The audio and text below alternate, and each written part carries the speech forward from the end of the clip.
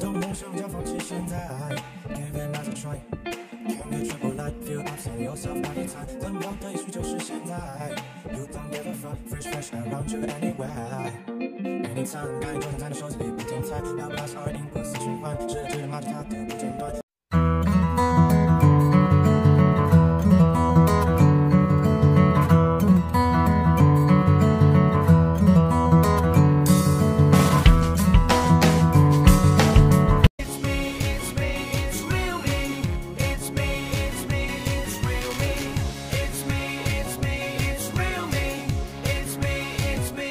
Hello, good morning everyone. Ako nga po ulit. Ayan. So, ang gagawin ko ngayon ay magluluto po ako ng ah, specialty ko. Mm, specialty ko. Ano, um, tuna spaghetti. Yan. Natutunan ko lang po sa ating, ano, sa ex kong, ano, Katak dan petasan. jowa. Yan. Kasi ano siya, um, this tuna spaghetti is my favorite spaghetti. Ano daw?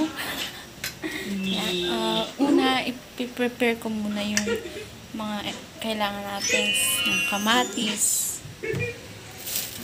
sibuyas, syempre, bawang, Ayan. habang nagpapakulo tayo ng tayo ng tubig n- ng ano para sa sa pasta. You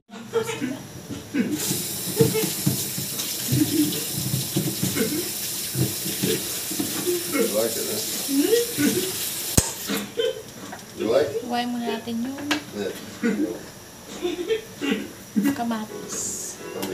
Ang hiwa lang niya maliliit para slice it in a skinny. Ano daw?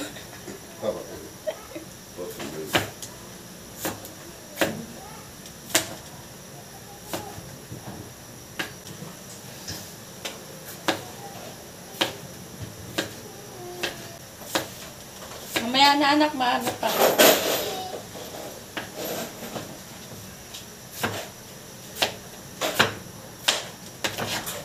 Sorry mukha ako seryoso.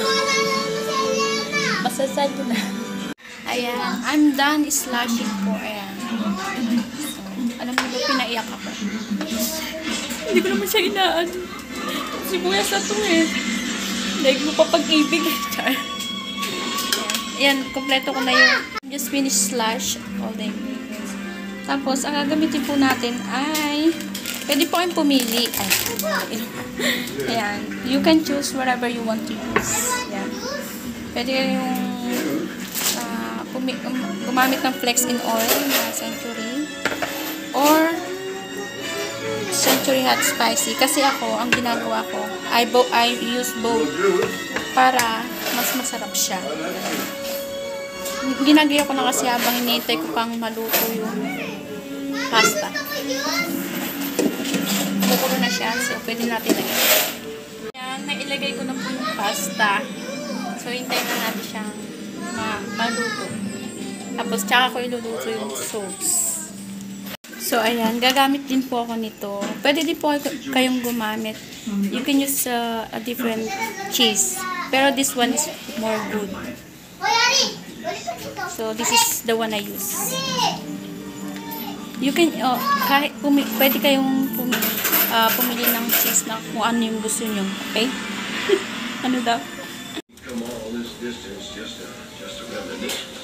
I just want to share that you need to prepare everything um, sa mga sa pagluluto mo para hindi na hassle.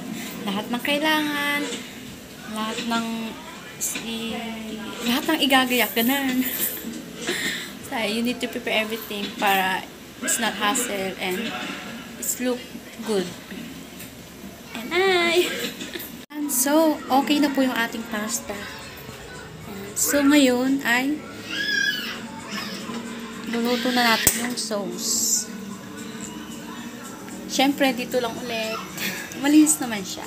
And, eh, kaya ito yung ginamit ko kasi mas ano ako dito para yung sauce ay naka ano lang. Lagay ko na bawang, garlic. I will put garlic. Make it ano golden brown. A little bit. Wow, English English ako ngayon ah. Sana all. Yan. Nagyan natin yung sibuyas. Tuin lang natin siya. Hello, yan. Mix it together and fish-fish. Pisil-pisil, ganun.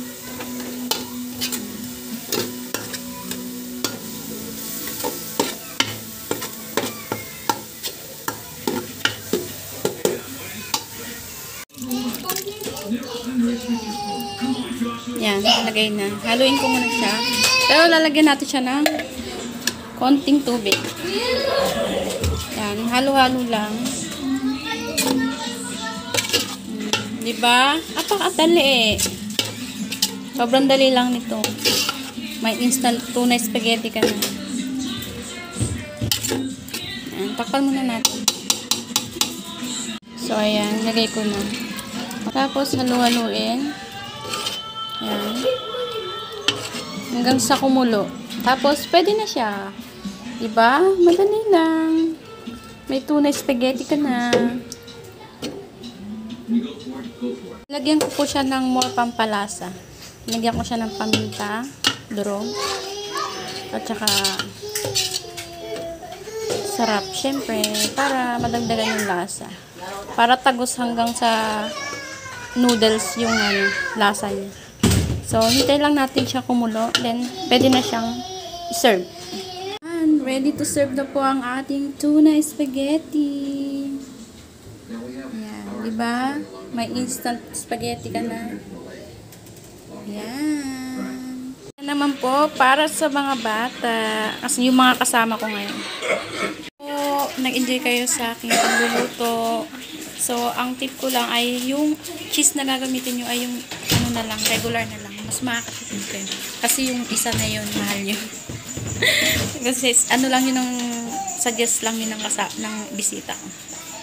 Thank you.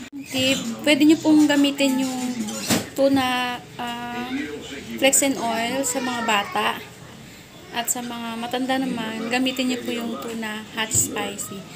Pwede yung both mix para mas masarap. Pero pag yung mga bata po kakain, kailangan po sa kanila yung regular lang po yung flex and oil. Yan na. Have a nice day! Ayan. Kain po tayo. Kung gusto nyo po ng sobrang sarap, lagyan nyo po ng more on cheese. I suggest na yung ano na lang, yung normal na cheese. Kaysa doon sa isa. Mas ma masarap. Kasi yung cheese na yun, pang sa ibang lahi lang. Dito kasi yung bisita. So, tara, kain you.